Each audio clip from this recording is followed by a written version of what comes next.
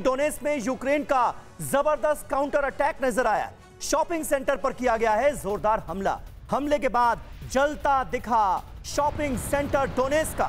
हमले के बाद रशियन एजेंसियों की मौके पर जाँच जारी है क्योंकि डोनेस ये वो इलाका है जहाँ पर रशिया का प्रभुत्व है और रशियन फोर्सेस जो यहाँ पर मौजूद हैं उन पर लगातार यूक्रेनियन आर्मी की तरफ़ से अटैक हो रहे हैं। और अब एक शॉपिंग मॉल को निशाना बनाया गया है। श्याम कुमार जी हमारे साथ मौजूद हैं। श्याम जी जिस तरह से स्टेशन पर हमला किया जाता है यूक्रेन के चैपलिन रेलवे स्टेशन पर 22 लोगों की जान ले ली जाती है तो ये यूक्रेनियन आर्मी का ही हमला होगा और सीधे यहाँ पर शॉपिंग सेंटर को निशाना बनाया गया है। यानी डोनेस को डेंट कर व्लादिमीर पुतिन को एक तरह से मैसेज देने की कोशिश की गई है क्या?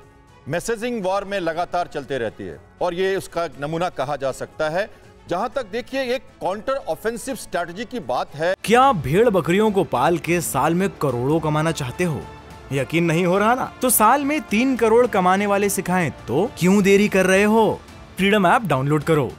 जो यूक्रेन कर सकता है या नहीं एक बड़ा क्वेश्चन है। क्योंकि देखिए, छह महीने का वॉर हो चुका और रशिया ने कीव से विड्रॉ करके अपनी टैक्टिकल ग्रुपिंग की ईस्टर्न थिएटर में और धीरे धीरे करके वो रिसाब अपना बढ़ाता जा रहा है। और अब देखिए, मैंने मानवीयता की बात की थी तो ये रेफरेंडम जो है, ये उसी का एक हिस्सा है, जहाँ वो एक जर्नलिस्ट सारे TV tower transmission station local जो इंटेलेक्चुअल मीडिया सबको कैप्चर करके धीरे धीरे अब वो एक रेफरेंडम करा के वर्ल्ड को एक मैसेज देना चाहता है कि वो ह्यूमैनिटेरियन ग्राउंड पे ये चीज़ें अपने तरफ़ रख रहा है। और इसको मालूम है कि यूक्रेन के लोग उसके अपने हैं।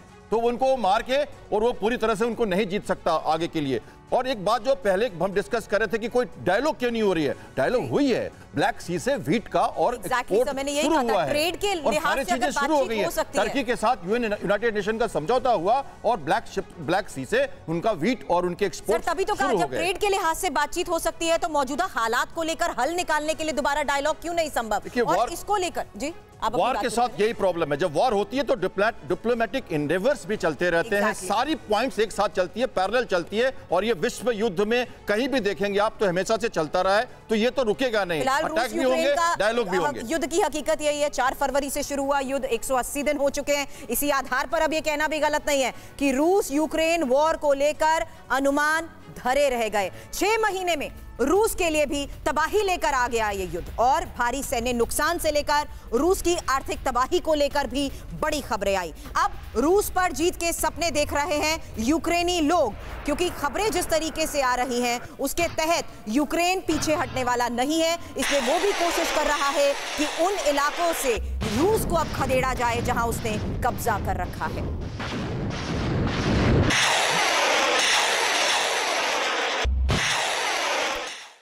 महीने हो चुके हैं रूस और यूक्रेन युद्ध को, और आइए अब ये समझना भी ज़रूरी है कि रूस के लिहाज से ये युद्ध अनुमानों से कितना अलग रहा है और उसके लिए कितनी बड़ी क्षति यानी नुकसान लेकर के आया है। अब देखिए, रूस के लिए तबाही लेकर आया है ये युद्ध। हम ऐसा क्यों करें? आकलन किया गया है, इसे समझिए। छह महीने के युद्ध में रूस की जो इकोनॉमी है, उससे कहा जा रहा है कि नुकसान पहुँचा है। पिछले छह महीने में रूस की इकोनॉमी बारह फ़ीसदी बारह फ़ीसदी सिकुड़ गई। यूएस रक्षा मंत्रालय की माने तो रूस ने अब तक 70 से अस्सी हज़ार सैनिक खो दिए हैं इस वॉर में। पूरे अफगान वॉर में भी सोवियत यूनियन को इतना नुकसान नहीं हुआ जितना इस वॉर में रूस को नुकसान पहुँचा है। अब अंठानवे फ़ीसदी जो यूक्रेनियंस हैं, उनकी ये राय है कि वे रूस से युद्ध जीत सकते हैं। मनोबल और ज़्यादा बढ़ गया है। पहले ही अनुमान लगाया गया था कि यूक्रेन बहत्तर घंटे में घुटने टेक देगा। अब क्यों धरे रह गए अनुमान, ये भी समझिए। पश्चिमी मदद और यूक्रेनी लोगों के प्रतिरोध ने हालात को पूरी तरह से बदल दिया। ये अनुमान लगाया जा रहा है और ज़ाहिर बात है, सिंह सर, जिस तरीके का अनुमान लगाया गया था कि दो दिन, सिर्फ़ दो दिन में पुतिन चाहते थे कि यूक्रेन जेलेंस्की को घुटने पर ला देना। लेकिन देखिए, छह महीने वॉर को हो चुके हैं और अब जो सर्वे हो रहा है, उसमें 98 परसेंट यूक्रेनियंस कहते हैं कि अब तो इतना ज़्यादा कॉन्फिडेंस आई है कि वॉर हम ही जीतेंगे। पुतिन नहीं जीतने वाले रूस की यूक्रेन पर जीत नहीं होगी। देखिए इसमें दो बातें मैं आपको सुनाता हूँ। एक तो ये रीजन की वॉर इतनी लंबी खींची है हम्म। ये किसी का अनुमान नहीं था ये मैं मानता हूँ। सभी स्ट्रेटेजीज के जो अनुमान थे सब गलत सिद्ध हुए। हम्म। इसमें क्या अब उसको रिव्यू करते देखते हैं। हम्म। तो ये जो अब नया चीज़ आप बता रहे हैं कि यूक्रेन लोग कह रहे हैं कि हम लोग अब युद्ध को जीत जाएँगे जो एक फार फ्रेश थॉट है और ये हो सकता है फिर से एक अमेरिका का या इन नेटो कंट्रीज़ का प्रोपागेंडा वॉर उसका रीजन बताता हूँ। अभी आपने एक बड़ी अच्छी चीज़ बताई अंजलि जी प्रोपोगेंडा वॉर कैसे देखिए इतने सारे हज़ारों हज़ार सैनिकों को रूस ने खोया है इकोनॉमी को भी डेंट लगा है ये सारे तो सर्वे में बातें सामने हैं। अंजलि जी आपकी एक बात कर एक छोटी बात आपने बोली बड़ी इंपॉर्टेंट बात है। आपने बताया कि अमेरिका ने भी स्टेटमेंट दिया है कि रूस का इतने सैनिकों को नुकसान हुआ सत्तर अस्सी हज़ार का। और साथ में जोड़ दिया इतना नुकसान तो अमेरिका का अफ़गानिस्तान वॉर में नहीं हुआ। इससे आपको क्या दर्शाता है? ये अफ़गानिस्तान की वॉर का जो डेंट है अमेरिका के मुल्क को उसको रिकवर करने के लिए कि दूसरों को ज़्यादा नुकसान हुआ दिखाने के लिए। तो ये प्रोपेगेंडा हो सकता है। अमेरिका इस समय बार बार मैं इस बात को कहता हूँ अपने ग्राउंड को रीगेन करना चाहता है यानी आप ये कहना चाह रहे हैं रूस को नुकसान नहीं हुआ इस वॉर में? हुआ है लेकिन जो बढ़ा चढ़ा के बताया जा रहा है शायद ऐसा नहीं।